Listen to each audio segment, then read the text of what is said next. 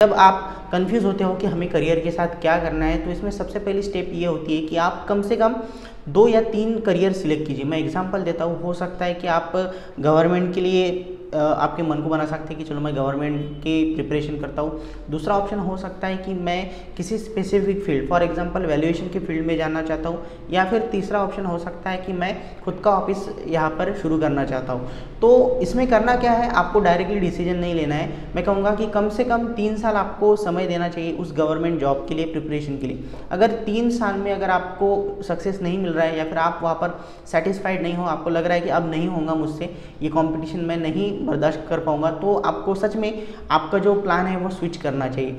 फिर बात आती है, मान लीजिए कि हो सकता है कि आपको लगे कि चलो मैं किसी X Y Z field for example हम यहाँ पर वैल्यूएशन की फ़ील्ड कहते हैं। वैल्यूएशन की फ़ील्ड में जाना चाहूँगा किसी और कंपनी के लिए काम करना चाहूँगा और वहाँ पर जॉब मिलेगा तो उससे मुझे इनकम होगी। तो मैं ये कहूँगा कि वहाँ पर भी आपको कम से कम एक साल देना है, ठीक है? एक साल के बाद आप ये डिसीज़न बना सकते हैं कि क्या सच में वैल्यूएशन मेरा मेरा जो फेवरेट है या नहीं, या फिर ये सिर्फ़ मुझे किताबों में ही अच्छा लगता था प्रैक्टिकल फ़ील्ड में ये चीज़ें मुझे अच्छी नहीं लग रही है। तीसरा जो ऑप्शन है खुद का जॉब करना या फिर खुद का बिज़नेस स्टार्ट करना ये मैं आपको क्लियर कर दूँ कि देखिए ये ऑप्शन आपका तब होना चाहिए अगर ये आपका पहला ऑप्शन है ठीक है? अगर आपका ये ऑप्शनल ऑप्शन है तो उस केस में मैं ये कहूँगा कि ये आपके लिए बहुत ज़्यादा तकलीफ़ वाला ऑप्शन बन सकता है। उसका रीज़न देता हूँ जैसे कि मैं मेरी बात बता दूँ जब मैं पास आउट हुआ था तभी मैंने डिसीज़न लिया था कि मुझे यहाँ पर आ, अपना खुद का ऑफ़िस शुरू करना है या फिर खुद का बिज़नेस शुरू करना है। सो बेसिकली मेरे जितने भी डिसीज़न थे मेरे जो भी कदम थे वो इस एम की तरफ़ या फिर इस गोल की तरफ़ बढ़ रहे थे।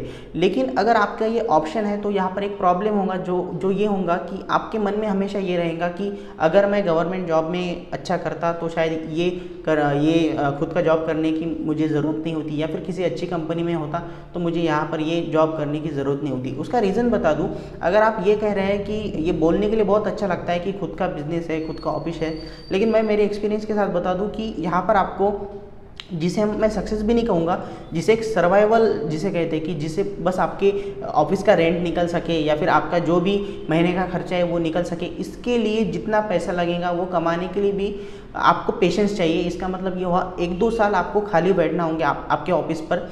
या फिर आपको कुछ भी नहीं मिलेगा, उसके बाद आपको रिज़ल्ट दिखना शुरू होते हैं। सो बेसिकली ये जो तीसरा ऑप्शन है, खुद के खुद का ऑफ़िस शुरू करना या फिर खुद का बिज़नेस शुरू करना, इसके लिए आपके पास पेशेंस होना ज़रूरी है। और साथ ही साथ आपका नॉलेज तो हर फ़ील्ड में है। आप गवर्नमेंट की प्रिपरेशन करो, किसी और की कंपनी में काम करो, या फिर खुद का ऑफ़िस शुरू करो। आपके पास थेराटिकल और थोड़ा बहुत प्रैक्टिकल नॉलेज होना बहुत ज़रूरी है। उसके सिवा तो आगे नहीं बढ़ सकते। सो so बेसिकली मेरा कहने का मतलब यह है कि आपको ट्राई करना है गवर्नमेंट जॉब के लिए मिनिमम तीन साल। प्राइवेट जॉब के लिए एक साल और उसके बाद अगर आपको लगता है कि सच में मैं कुछ कर सकता हूँ तो उसके बाद आप प्राइवेट की तरफ़ आइए। लेकिन मैं private private in the sense खुद का जॉब लेकिन उसके लिए मैं एक बात बता दूँ, अगर आप खुद का जॉब शुरू करना चाहते इस सिचुएशन में कि जहाँ पर ये आपकी पहली प्रायोरिटी नहीं थी खुद का जॉब शुरू करना तो मैं कहूँगा कि ये आपको इस पाँच साल के अंदर ही नहीं करना है। ये आपको, आपकी जो फाइनेंशियल कंडीशन है, वो स्ट्रांग होंगी। इसका मतलब आपको प्राइवेट जॉब करना होगा। उसके बाद आपकी पहचान बनेगी। आपके पास एक फाइनेंशियल स्टेटस आएगा। थोड़ी बहुत अमाउंट बचेगी। उसके बाद उस एक्सपीरियंस और उस पैसे के बेसिस पर अगर आप खुद का ऑफ़िस स्टार्ट करेंगे तो वो आपके लिए पॉजिटिव रिज़ल्ट दे सकता है। अगर आप डायरेक्टली ही किसी ऑप्शन की तरह यहाँ पर आएँगे तो शायद आप में उतने पेशेंस नहीं रहेंगे जितने जैसे मैं रहा या फिर कोई और बंदा रहा जो स्टार्ट से ही ये काम करना चाहता। तो ये बात आपको ध्यान रखनी है।